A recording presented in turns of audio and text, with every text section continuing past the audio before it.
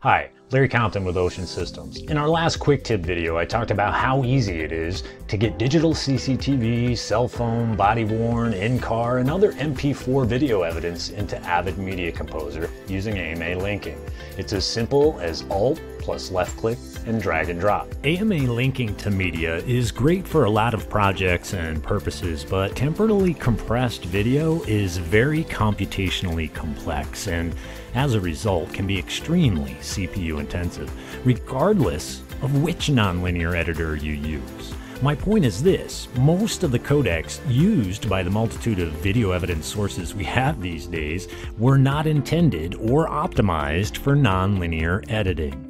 Using the link and transcode method I'm going to show you will create the same uncompressed or spatially compressed media as the import process, but it'll do it up to 8 times faster. If I go through the traditional import method with this video, whether I go up and do that through the source browser or the old school import interface and I grab this video, um, going to DNX uncompressed, uh, my uh, same drive uh, and everything, that process takes about 16 seconds. However, if I link to it and then go up to consolidate and transcode, that brings up our consolidate and transcode window.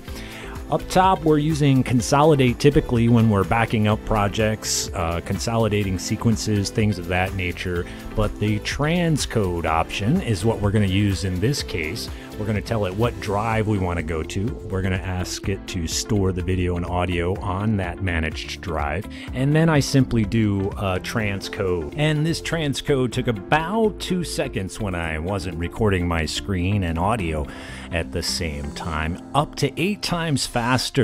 Our testing has shown in this example, it took about five or six seconds while I was recording my screen. But now I'm able to scrub and move through this video video because I have a spatially compressed, uncompressed, same duration, uh, playing at the original frame rate uh, so I can maintain that precision. You want precision. You want ease of use.